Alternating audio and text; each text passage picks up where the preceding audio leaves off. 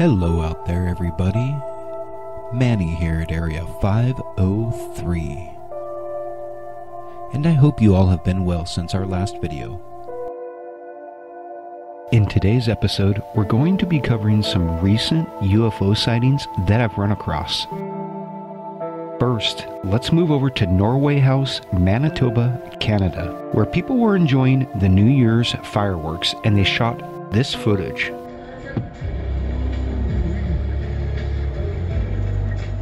Later, when they got home, they were reviewing the fireworks footage and they noticed this strange UFO that they had not noticed while on location. Check that weird bugger out. What is that? I'm going to try to get a good zoom on it. What do you guys think that is? A helicopter with a floodlight? Or a pilot with a fog light signaling the people shooting off fireworks, maybe? The video is being shot from inside a vehicle, so perhaps it's a reflection of a nearby lighthouse on the vehicle windshield. It does resemble a lighthouse beacon. I thought maybe it could be something reflecting the light of the fireworks, but I quickly changed my mind because this thing appears illuminated when the rest of the sky is dark. Whatever this thing is, it does appear man made to me. I just can't identify it. Have any of you seen anything like this before and can tell me what it is? If so, let me know in the comments below. I really gotta tell you guys, the more I look at this thing, the more mysterious it becomes to me. I wonder if messing with the color will reveal anything.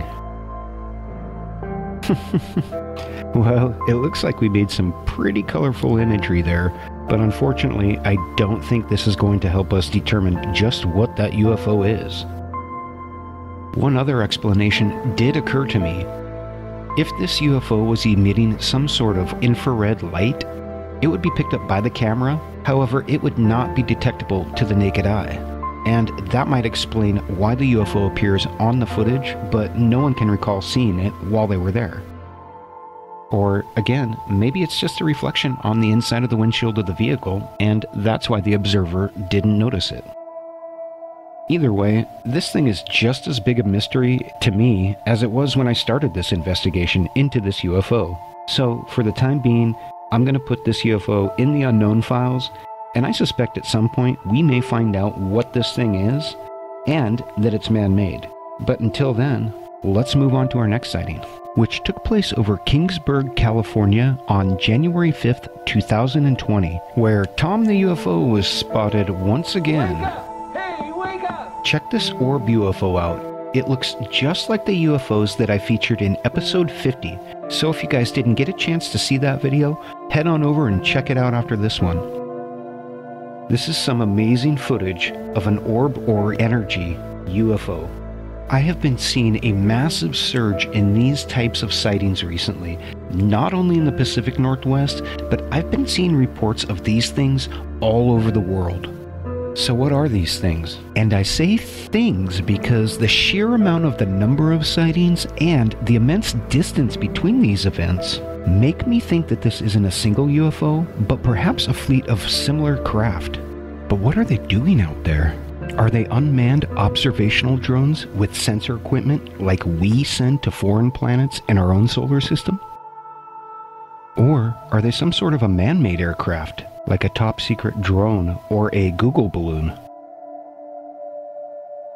You have to admit, it sure looks like a balloon. Back in episode 41, I was able to identify a UFO that was photographed during the day over Dayton, Ohio. Check that out, it looks awfully similar to the Kingsburg UFO. However, in the case of the Dayton UFO, I was able to confirm using Flight Radar 24 that this was a Google balloon by using its transponder signal. I checked on Flight Radar 24 for the day of the sighting over Kingsburg. They showed light commercial air traffic and no balloons. That's right, no Google balloons. Now I thought for sure Flight Radar 24 was going to show a Google balloon. But that simply is not the case. And so, no matter how much this UFO may resemble a balloon, until I see some evidence to suggest that it is, I think we can safely rule that out. But if it's not a balloon, what is it? I'm going to speculate here for a minute.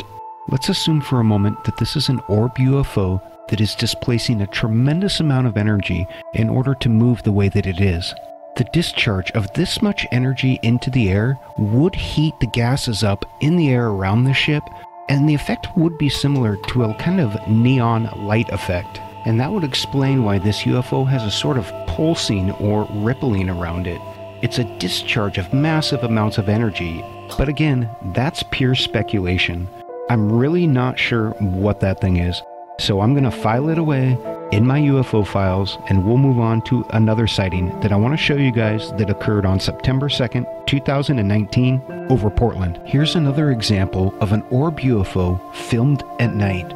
We see all the same characteristics of the other orb UFOs that we've covered. And I just wanted to show you guys this quick clip to reiterate how frequent these sightings are becoming. I'll keep on cataloging them and bringing them out to you all until we can figure out what they are.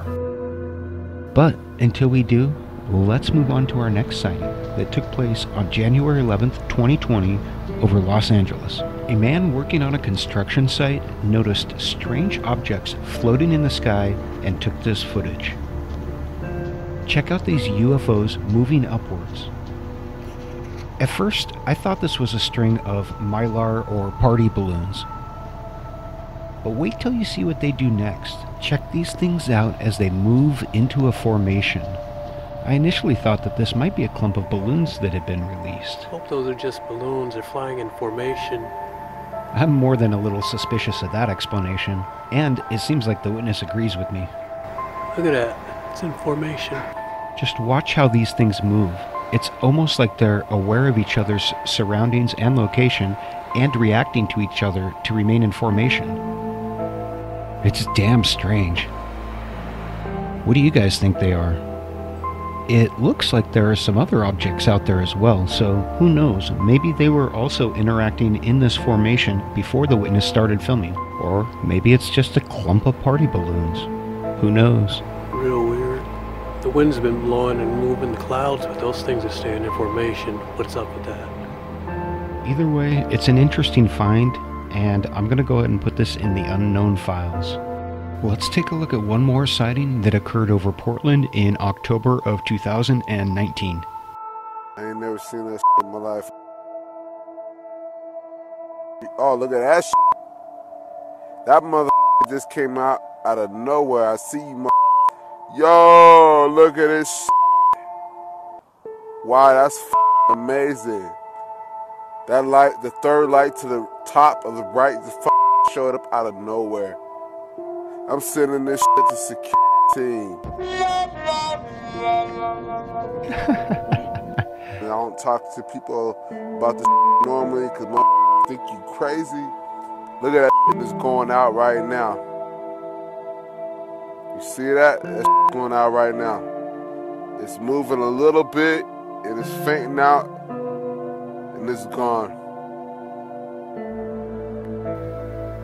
Homie, get in touch with me. I'll talk UFOs and aliens with you all day long. I don't think you're crazy. Now, maybe these are helicopters, but you don't see the red flashing marker lights. And why would a helicopter cut its lights like the third UFO did and fly blind. That doesn't make much sense. So I'm leaning towards the UFO explanation here.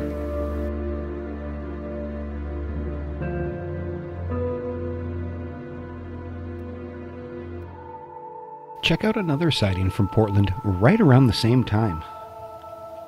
We have another sighting of three UFOs flying in formation in broad daylight. I'm going to overlay the previous sighting so that we can see them both at the same time.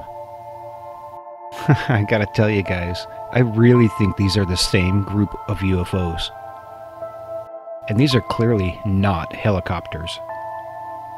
So what are they? I suppose it's possible that they're some sort of military drone out of the local air wing, but they really don't behave like any drone that I've seen, and they're certainly not any form of conventional aircraft but I really can't determine what these things are, so for now, these sightings are going to go into the UFO files. Well, guys, for now, that's all I have on UFO and UAP sightings. As always, this has been Manny at Area 503. and I wish you all the best until we meet again. And I am out of here to continue my search for universal truth.